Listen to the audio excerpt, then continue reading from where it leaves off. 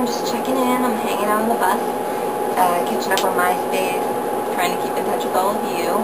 Um, right now we're in Milwaukee, Wisconsin, and um, we had a day off today and yesterday, and tomorrow we're at Summerfest. And then we go somewhere else. I don't know where right now.